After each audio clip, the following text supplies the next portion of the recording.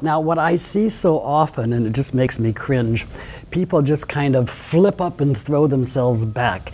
And what happens is they're just pinching everything down here, and that's gotta hurt, if not now, eventually.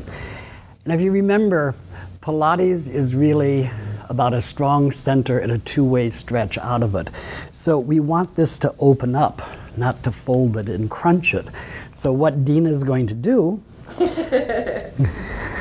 isn't she, is reach to the floor from here. Now just try to touch the floor, go across the floor, let your neck relax, head just hanging there.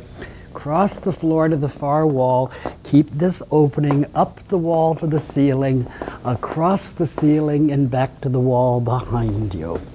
Now come forward, get your ribs in. Now you're aligned again so you can straighten your legs.